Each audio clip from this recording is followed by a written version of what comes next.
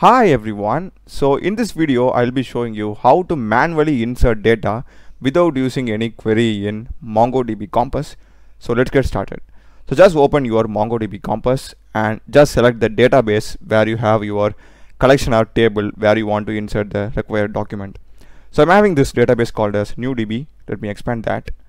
And inside NewDB I'm having my table named as latest. I'll just click that and here you can see I'm having already some data. So for adding a data manually, here you can see you're having an option called as add data. Just click that and you need to click on insert document. So we can also import data from JSON or CSV, but I will click insert from document, which is the manual insertion. So in the insert document, at first you'll be having this underscore ID and inside that you'll be having another key which is called as OID, which is this object ID thing. So you need to just leave this inner JSON, okay? So here you are having an outer object and inside that we are having another object. So you need to come to the end of the inner curly bracket okay? Just close this and expand this. So here you'll be having the end of the inner curly bracket.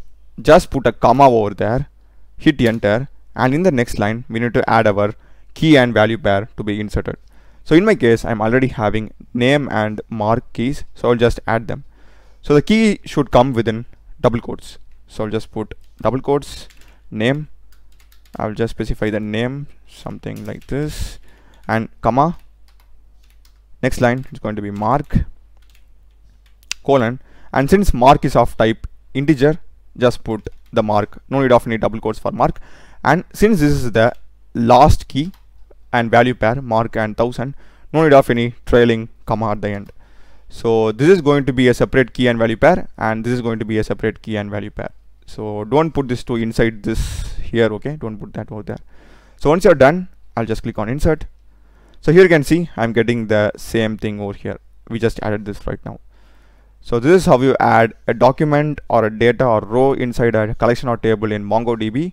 So I hope you would have found this video useful. Do check the playlist of my channel. I've done a lot of MongoDB and MySQL queries as well as CRUD operations in them by using Spring Boot and Node.js check them out. Subscribe me. Thanks for watching